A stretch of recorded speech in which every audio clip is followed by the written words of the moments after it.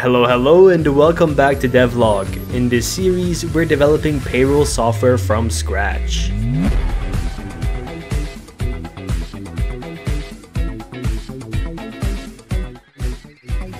In this episode, we're implementing a flow for admins to create Nobility Pay accounts for their employees and invite them to onboard themselves. This episode combines both the admin and employee self-serve apps, but do not worry if you're new to the series, I'm sure you can follow along. Alright, let's get started. Our flow begins in the admin app. In the previous episode, we set up a server action to handle employee creation when the underlying Nobility Pay user already exists. Now, if the user does not exist, we'll create one and send out an invite to the employee. This invite has a long CUID so it can't be brute forced, it has the user ID, and whether or not it's still active. And that's about it for the admin app. The rest of the flow will continue from the self-serve app, so let's switch over. Alright, on the self-serve app, I have created a new route for account activation, which takes in the invite ID as the only parameter. On this page, we check that the invite and the associated user models exist, otherwise we redirect the user to the dashboard. If the invite is not active, meaning it has already been used, or if the user already has a password set, we return a card saying that the account has already been activated.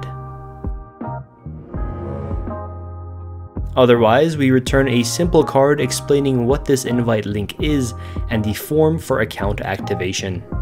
Nothing too fancy, the form is a simple React component that calls a new server action with the invite ID parameter and the user's new email and password. The form itself has three fields, email, password, and confirm password. Easy peasy, some would even say lemon squeezy. The server action, activate user account, does a query to find the invite model along with the user relationship, and as before, if the invite does not exist or if the user already has a password, we return an error. Otherwise, we update the user model with the new email and hashed password. Finally, we update the invite to be no longer active, and once we set up our mail service, we'll need to send out a security notification to the employee that their account has been activated. Alright, alright, that is all the code. Time for a demo. New card. What do you think? Whoa, very nice.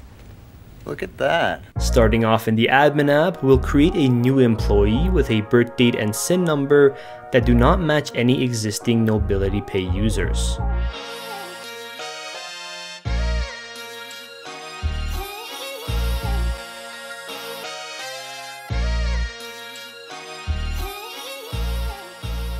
Perfect, that went through. Now if we look in the database, we can see a new invite has been created. Let's copy the ID and on the self-serve app, we'll navigate to slash activate slash ID.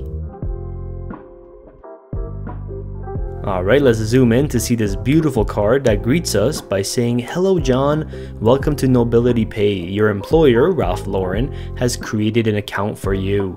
All you need to do is select an email and password. Below that, I have included a note warning the user that they should use a personal email address for their Nobility Pay account in case their work email becomes inaccessible, you know? Getting fired or quitting inaccessible. Yo, and for you freaky folks out there, we got light mode. I don't know why you would use it, but we got it. Alright, let's complete the form and activate our account.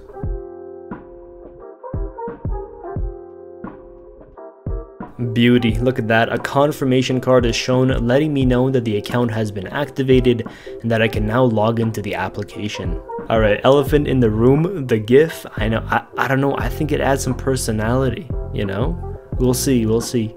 Clicking login redirects us to the general login page, which does not have dark mode yet.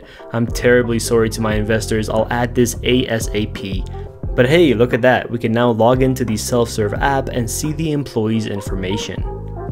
What an absolutely beautiful, streamlined process, am I right? Am I right? I cannot wait for employees to onboard themselves with a simple link in their email. Thank you so much for watching this episode of Devlog. We set up a cross-app flow for our vendors to create accounts for their employees, and once we set up our email service, we can complete this flow and others throughout the product. I hope you enjoyed this episode and maybe learned something along the way. Please make sure to subscribe to follow along and see where this project goes. Otherwise, I'll see you in the next one.